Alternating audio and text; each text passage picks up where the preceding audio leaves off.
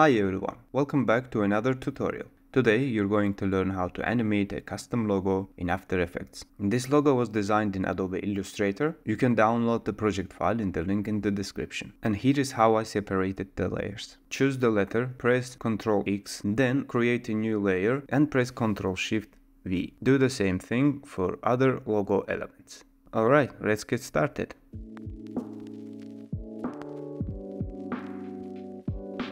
The new composition and you can see the settings for the composition. Import your vector file and now we need to create shapes out of these layers. After doing so, it's better to clean the mess here. Then we need to rename the elements and color them for better recognizing. Now it is time for the animation. We will start our logo animation with the circle and arrow. Drag the letters a bit further because we will need them later. And now let's animate the circle. We will need 3 keyframes for this animation. Create first keyframe and drag it further. Then create another, set the value to 110 and drag it in the middle.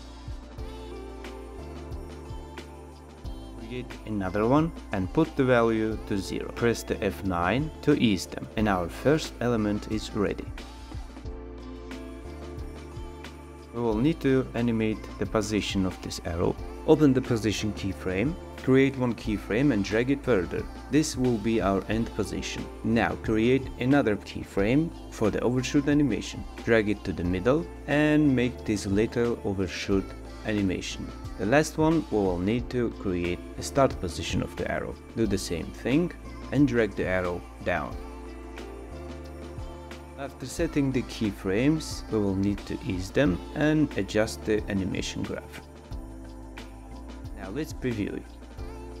Now this circle here stays steady, but we don't need this, so we will need to animate the circle position.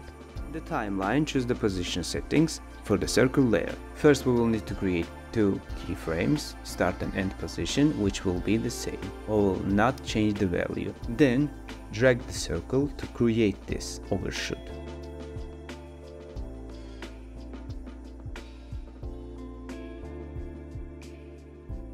After setting the keyframes, ease them and adjust the animation graph. Now let's preview it. It looks nice.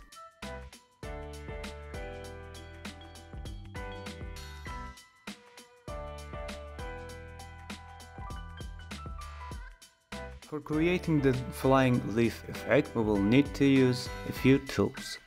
First of it will be the pen tool, because we will need to create a path for the leaf. So we will draw that path with the pen tool.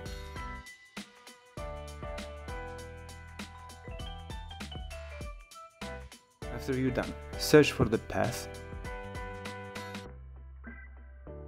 put a keyframe, and simply copy it. Then go to the leaf layer, choose the position, and copy paste. Now you can see the path here.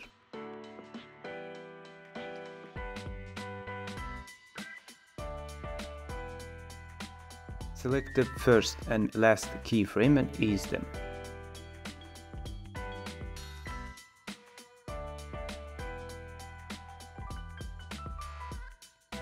We'll need to adjust that leaf.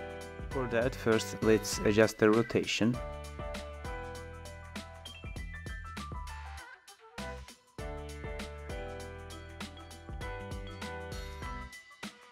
Put the keyframe for the last position. Then adjust the start position.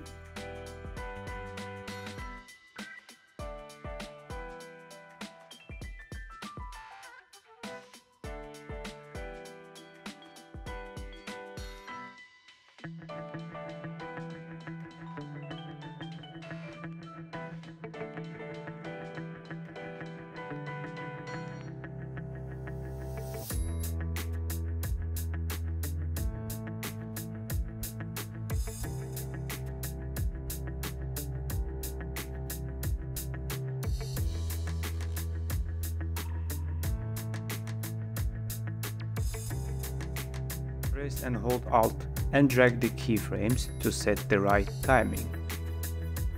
After that, we will need to work on animation graph.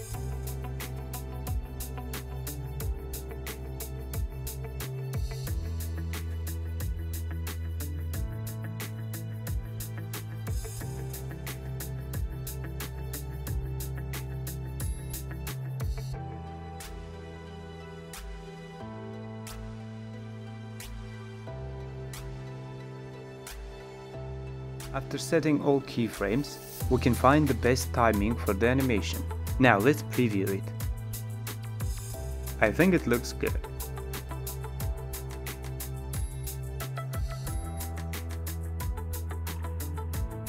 Select the all letters, choose the scale, put the keyframe for all layers, drag it further and make it the last position. Create another one, put the value to 110 then create another one and put the value to 0.